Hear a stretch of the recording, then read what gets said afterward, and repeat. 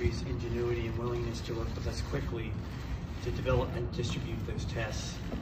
We've had a substantial addition to testing uh, with the authorization of point-of-care tests, especially the Abbott point-of-care test, which the President has pulled out of the box.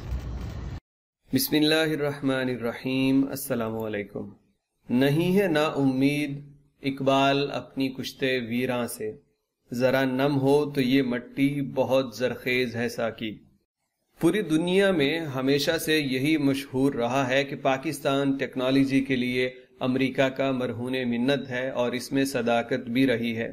آج پوری دنیا جب corona میں مبتلا تھی، اسی وقت ایک ایسی چیز سامنے آئی ہے جس نے پاکستانیوں کے سینے فخر سے چوڑے اور سر اللہ رب العزت کے آگے شکر سے جھکا دیے ہیں کہ آج پاکستان کی طرف پاکستان کی بنائی ہوئی پروڈکٹ کی طرف دنیا دیکھ رہی ہے اور اس پروڈکٹ کو خود امریکی صدر دنیا کے سامنے دکھا رہا ہے۔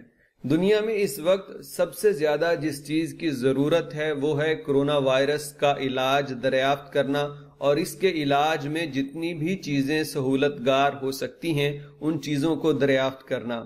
کرونا وائرس کی تلاش کے سلسلے میں پوری دنیا میں اس وقت جس ڈیوائس کا ذکر ہو رہا ہے، وہ وہ امریکہ میں بنی ہے اور اس ڈیوائس سے پانچ منٹ کے اندر اندر مریض کا کرونا ٹیسٹ کیا جا سکتا ہے۔ اس وقت کرونا لیب ٹیسٹ ڈیوائس پوری دنیا میں دکھائی جا رہی ہے اور اس ڈیوائس کو بنانے والے شخص کا نام ڈاکٹر جمیل شیخ ہیں، جن کا تعلق پاکستان سے ہے۔ اور یہ پاکستان کے صوبہ سندھ کے ضلع لاڑکانہ کے شہر بھاٹ سے ہیں اور وہ اس وقت امریکہ کے شہر سان ڈیاگو میں مقیم ہیں۔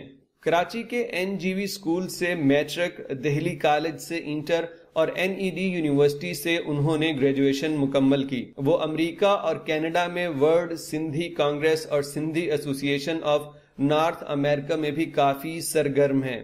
ڈاکٹر جمیل شیخ کی ایجاد کردہ یہ testing device Abbott company laboratories نے متعارف کروائی ہے، جس سے وائرس کی تشخیص صرف پانچ منٹ میں ہو سکتی ہے۔ کمپنی یکم اپریل سے روزانہ پچاس ہزار ٹیسٹ کٹس مہیا کرے گی۔ یہ ٹیسٹنگ کٹ آئندہ چند ہفتوں میں دنیا بھر میں فروخت کے لیے پیش کی جائے گی۔ Diagnosis device from San Diego نامی پروجیکٹ خالصتاً جمیل شیخ کا پروجیکٹ ہے۔ امریکی ادارے فوڈ اینڈ ڈرگ ایڈمنسٹریشن نے اسے اسی نام کے ساتھ رجسٹرڈ کیا ہے۔ جمیل شیخ امریکہ اور کینیڈا میں کام کرنے والی ایک جرمن کمپنی میں انجینئر ہے جو کہ میڈیکل انسٹرومنٹ بناتی ہے۔ یہ ڈیوائس خالصتاً ڈاکٹر جمیل شیخ کا ہی پروجیکٹ ہے جو انہوں نے ڈیزائن کر کے فارماسوٹیکل کمپنی ایبٹ کو دیا اور جس کی رونمائی اس وقت امریکی صدر کر رہے ہیں۔